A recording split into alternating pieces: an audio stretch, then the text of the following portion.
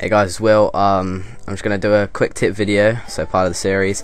That's going to show you guys how to um, save a PSD, so something you've done in Photoshop, something you've made, um, in the highest quality as possible. So like when it's on YouTube or when, you're doing a video, it's uh, high quality.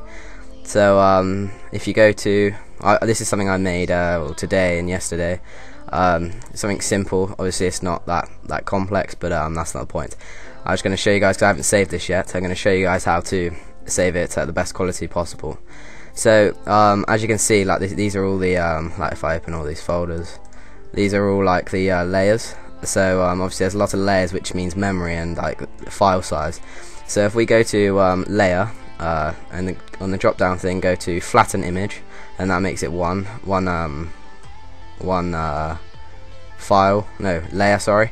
Um, and then if we go to file and normally you would go to save as um, and then save as or once it's, once it's saved as actual uh, PSD you go to file save as PNG or JPEG and then like choose your quality on the little uh, strip thing. Um, but in this case we're going to go to file save for web and devices. And the the best quality is a PNG 24 uh, to let this load a second uh, the best quality is a PNG 24, which basically means it's like the highest it can get. Well, as far as I know, anyway. Um, and it's all the better the quality, like the bigger the file size again. So, and obviously YouTube doesn't allow you to upload like that bigger file. So, if it's um, over one meg, um, I'm gonna get, I'm guessing it's one meg or something like that. Uh, then I don't think you're allowed to upload it, but obviously give it a go. But if it doesn't, um, do not pick PNG to 8 because it just makes like if you can see this S, I don't know if you can. It makes the S like uh, the the colors look a bit weird.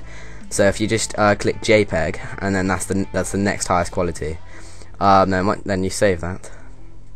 So like once that's saved, um, click done, and make sure you do not save it with this background because that's that's over your PNG. So uh, so like what you what all your work so you can't alter again. So if you um, press Control Z, Control Z or Control Alt Z, and then you got your layers back. So um, yeah, cheers guys.